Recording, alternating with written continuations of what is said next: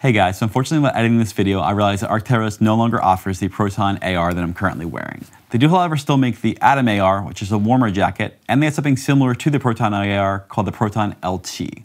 So LT to them means lightweight, so just a little bit less insulation. So where with the Proton AR, it was their Core Loft 65 and 90, with the Proton LT, it's gonna be 60 in hood and 80 in the body, so just a little bit less. It is still made to be a jacket that is lightweight, and also warm while being very breathable. So it's great for those high exertion activities where you want to be warm but you don't want to be overheated and you want to dry quickly. So pretty good option. Uh, still has one chest pocket, still has adorable face fabric, and like I said, it's a very similar offering. So if you guys want to check this video out to learn more about these jackets, let's move on to the next location. The Arc'teryx Atom AR and the Proton AR, which I'm wearing now, are two great products from Arc'teryx. It can be used as both an insulating layer and as a standalone piece. They offer great quality, comfort, and technical performance. Today we're going to compare these two in terms of insulation, materials, warmth, features, and intended use. If you'd like to check them out and also support the channel, you can check the links in the description below.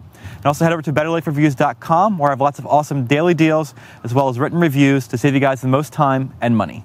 All right, so let's get to it.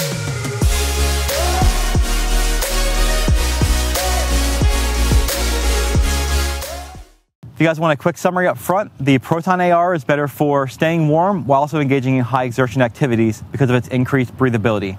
While the Atom AR is better for staying warm while standing around in cold environments as a standalone piece and for increased wind resistance. And that's because it has more insulation and it has decreased breathability. Both these jackets have Arc'teryx's CoreLoft insulation. That's a synthetic insulation that dries quickly, has great durability, and stays warm when wet.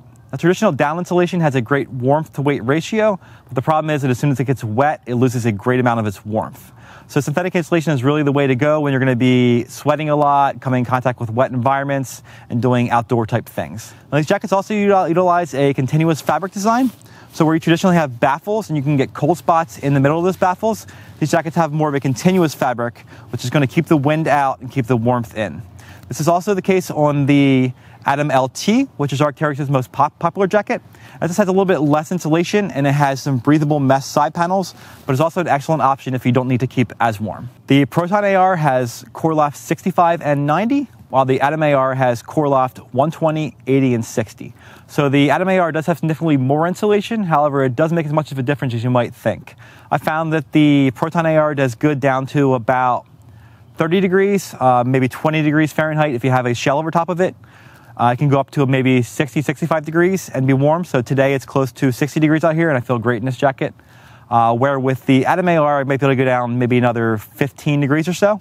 So you could probably go down to maybe 10 degrees, maybe even zero degrees, possibly with a shell on top of it. Uh, but it's not going to be as good. You're probably going to be too warm if it gets environments to be, you know, that's 50 degrees or more. The Proton AR has a Fortius Air 40 shell, which is elastane and nylon, that's what they call it. Uh, and I found this to be a very, very durable and, you know, good feeling face fabric. While with the Atom AR, it also has a great face fabric as well, but it doesn't appear to be quite as good at resisting uh, rips and tears. Now, that is a Tyono 30 denier face fabric, so it's going to be a little bit harder to rip than the Atom LT. Uh, but overall, to me, this is, seems to be a little bit more of a durable fabric. Both jackets have pockets for your hands. Now, the Atom AR has one internal pocket, while the Proton AR has two pockets here.